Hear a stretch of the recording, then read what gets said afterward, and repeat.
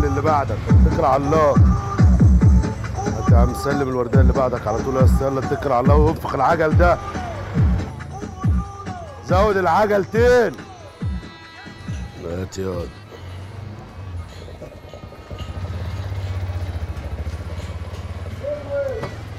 ينفع كده يا معلم؟ قاعد تحاسب السواقين في عز الدور وتاخد الإيراد. مش خايف لا نسيبك يطب عليك فجأة ويعرف اللي فيها؟ يا عم أهلا وسهلا بيه. امد ايدي كده قدامه واعمل نفسي بديها لك وده صح برضه يا زميل. طب الراجل وغريب وهنضحك عليه. ينفع انت كمان تضحك عليا يا ابن حتتي؟ ما يغلوش عليك يا صاحبي.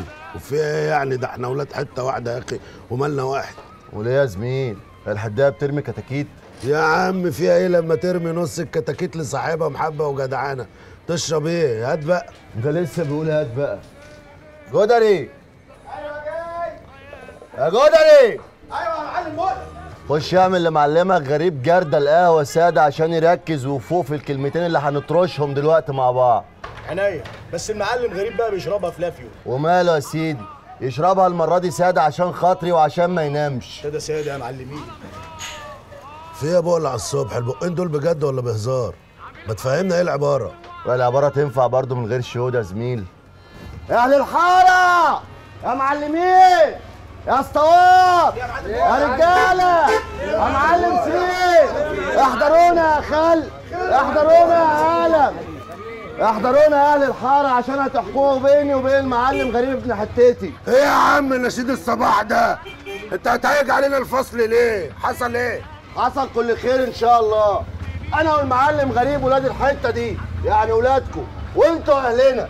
ومش عيب ابدا لما الولاد يختلفوا مع بعض يطلبوا مشورة أهل حتتهم صح ولا لأ؟ صح يا معلم.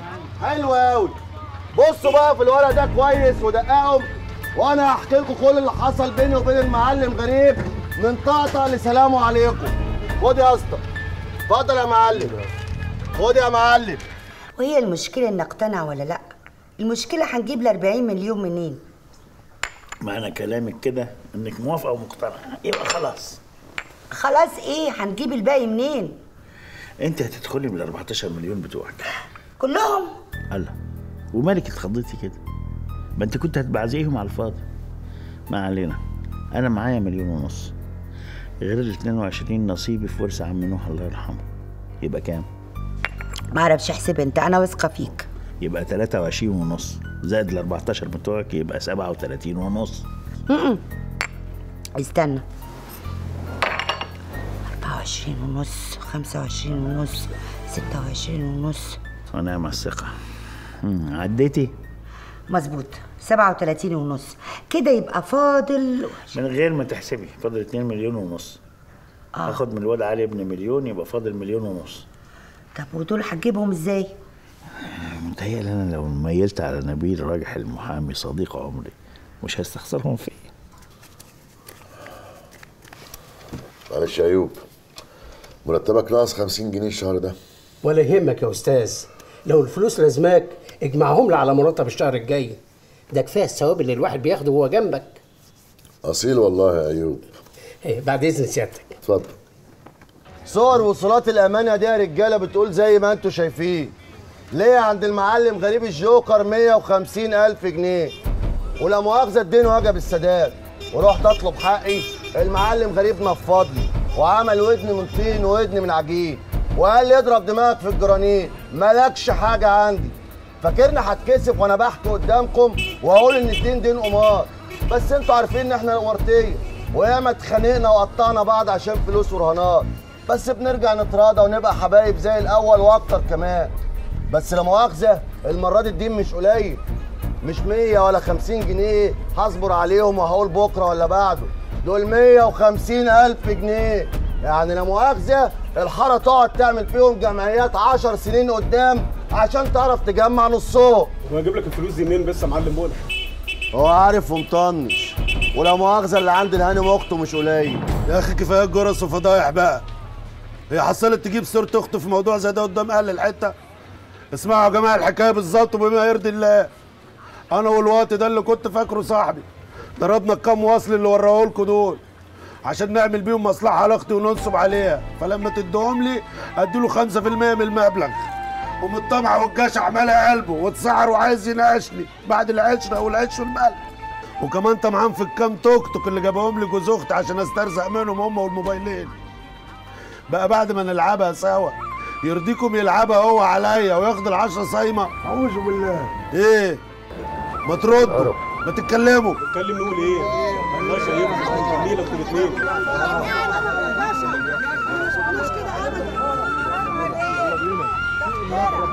ربنا يحرقكم بجاز ويخلص الحتة منكم. أستر يا رب. ادي آخر تتخانق في حد يكون اخته عاجبك كده؟ فضحتنا وجبت لنا الكلام من غير لازمة قدام أهل الحتة. عاجبني. ومش هسيب حقي يا غريب. وقدامك مولى لحد بكرة. يا تديني التكاتك وخطين الموبايل وأقطع الوصولات؟ يا روح النيابة بالوصولات واحبسك بيهم. أنت عارف إنك واطي وزاد على كده إنك زبالة والخيانة اللي في قلبك تكفي القطط اللي في المنطقة العربية كلها. بالاذن يا غريب. معقولة كل ده في مصر؟ بتعمل إيه عندك بس؟ حرام عليك تعالى بقى. حاضر يا حبيبتي من عينيا الاثنين اخلص بس شوية الشغل اللي في إيدي وأجي لك هوا. أنا أقدر اتاخر عليك. يا سلام.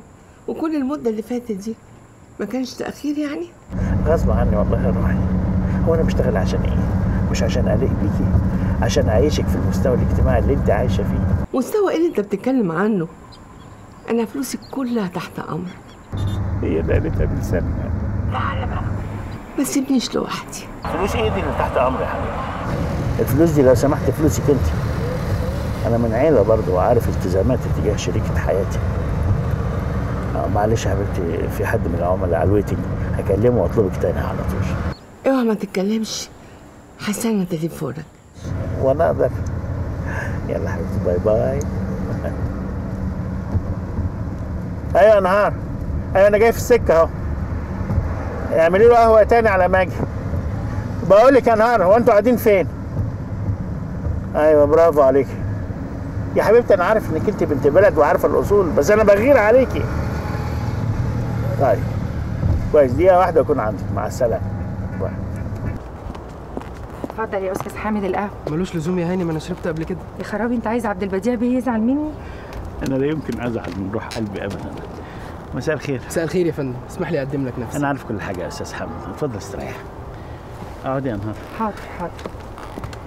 اسمح لي أقول لك ان أنا مش عاجبني الرقم اللي عرضت عليه طب أنا ممكن اعرف إيه اللي مش عاجب سعادتك فيه بالظبط؟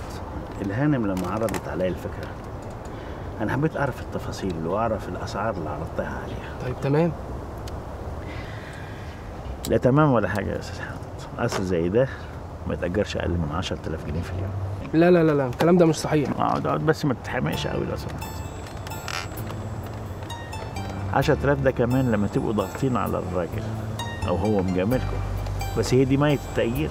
أيوه بس المبلغ ده مبالغ فيه حبتين. عموما الرقم ممكن نرفعه من 7000 ل 7000 ونص في اليوم. ومالك جاي على نفسك قوي كده؟ نخليهم 8000 عشان خاطر الهاني لا سيبك من هانم خليك معايا أنا. عشان الله يخليك ليه وما تحرمش منك يا سي عبد البديع يلا.